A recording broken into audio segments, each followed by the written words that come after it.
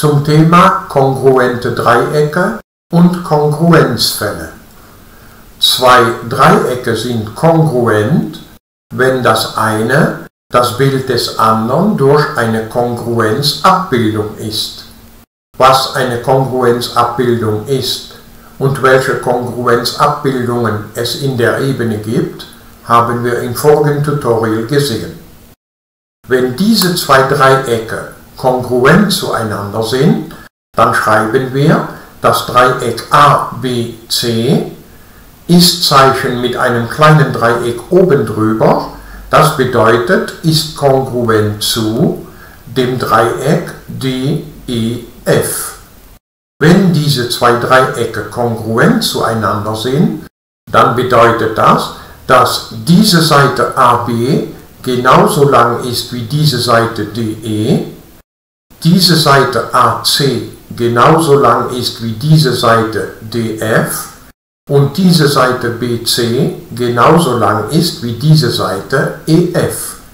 Das bedeutet zusätzlich, dass dieser Winkel BAC genauso groß ist wie dieser Winkel EDF. Das bedeutet auch, dass dieser Winkel genauso groß ist wie dieser Winkel und auch noch, dass dieser Winkel genauso groß ist wie dieser Winkel. Kommen wir jetzt zu den Kongruenzfällen. Erster Kongruenzfall. Stimmen zwei Dreiecke in ihren drei Seiten, also S, S, S, überein, so sind diese Dreiecke automatisch kongruent. Das bedeutet hier, wenn diese Seite AB genauso lang ist wie diese Seite DE, gekennzeichnet durch dieses Querstrichchen, wenn zusätzlich diese Seite BC genauso lang ist wie diese Seite EF und wenn zusätzlich diese Seite AC genauso lang ist wie diese Seite DF, dann können wir daraus sofort schlussfolgern, dass diese zwei Dreiecke kongruent sind. Zweiter Kongruenzfall, stimmen zwei Dreiecke in zwei ihrer Seiten, also SS, und dem von diesen Seiten eingeschlossenen Winkel, also W, überein, so sind diese Dreiecke kongruent. Also wenn diese zwei Dreiecke ABC und DEF so sind, dass diese Seite AB genauso lang ist wie diese Seite ED, wenn diese Seite BC genauso lang ist wie diese Seite EF und wenn die Winkel, die durch diese entsprechenden Seiten eingeschlossen sind, dieselbe Öffnung haben, dann sind diese zwei Dreiecke automatisch kongruent. Dritter Kongruenzfall. Stimmen zwei Dreiecke in einer ihrer Seiten und in zwei Winkeln überein, so sind diese Dreiecke kongruent. Das bedeutet hier, wenn diese Seite AC genauso lang ist wie diese Seite DF, wenn dieser Winkel Alpha mit diesem Winkel Phi übereinstimmt und dieser Winkel Beta mit diesem Winkel Theta übereinstimmt, so sind die zwei Dreiecke automatisch kongruent.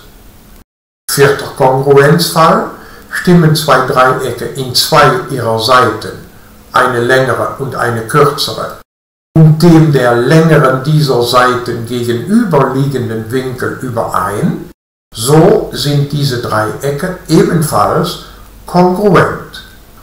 Hier, die Seite ist genauso lang wie die, diese Seite ist genauso lang wie die und der Winkel, der der längeren Seite gegenüber liegt, stimmt mit diesem Winkel überein, der ebenfalls der längeren Seite gegenüber liegt, so sind diese zwei Dreiecke automatisch kongruent. Hier ein Beispiel zur Anwendung der Kongruenzfälle. In einem gleichschenkligen Dreieck sind die Basiswinkel gleich groß. Wir haben also hier ein Dreieck ABC, das gleichschenklig ist. Das bedeutet, diese Seite AB ist genauso lang wie diese Seite AC und daraus werden wir schlussfolgern, dass diese zwei Basiswinkel gleich groß sind. Dazu sorgen wir zuerst dafür, zwei Dreiecke zu erkennen, mit denen diese zwei Seiten AB und AC zu tun haben und die kongruent aussehen. Um solche Dreiecke herauszufinden, konstruieren wir diese Höhe AH. Das heißt, links ist ein rechter Winkel und rechts auch. So entstehen diese zwei rechtwinklige Dreiecke ABH und ACH. Die sehen kongruent aus. Wir werden jetzt versuchen festzulegen, was denn in beiden Dreiecken übereinstimmt und so werden wir erkennen können, welchen Kongruenzfall wir anwenden. Wir sehen hier, dass diese Höhe AH gemeinsame Seite des Dreiecks ABH und des Dreiecks ACH ist. Also haben diese zwei Dreiecke eine gemeinsame Seite. S. Dieser Winkel ist ein rechter Winkel, weil AH eine Höhe des Dreiecks ABC ist. Dieser Winkel aber auch. Und somit haben wir in beiden Dreiecken einen gemeinsamen Winkel. Wir wissen aber durch die Hypothese, dass diese Seite AB vom Dreieck ABH genauso lang ist wie diese Seite AC vom Dreieck ACH. Also können wir das schön hier einschalten und jetzt sehen wir, welchen Kongruenzfall wir anwenden können.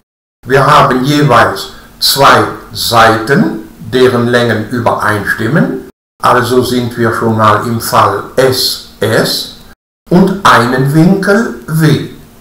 Dieser Winkel wird aber nicht gebildet von diesen zwei Seiten, aber dieser Winkel ist der längsten dieser zwei Seiten gegenüberliegend, also sind wir im vierten Kongruenzfall, Groß S, Klein s, W, also sind diese Dreiecke A, B, H und A, C, H kongruent, woraus wir insbesondere schließen können, dass diese zwei Winkel Alpha und Beta gleich groß sein müssen.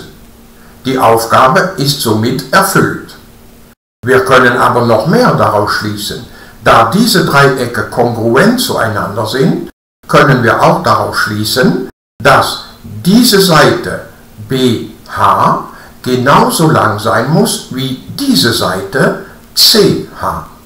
Woraus wir wiederum schließen, dass diese Höhe AH automatisch auch Mittellinie des Dreiecks ABC sein muss. Und diese Höhe AH ist gleichzeitig Höhe und Mittellinie, also ist das auch die Mittelsenkrechte dieser Strecke BC. Wir können aus dieser Kongruenz auch schließen, dass dieser Winkel BAH genauso groß sein muss wie dieser Winkel CAH. Also dieser Winkel ist genauso groß wie dieser Winkel. Und daraus können wir wiederum schließen, dass diese Höhe AH auch noch Winkelhalbierende von diesem Winkel BAC ist.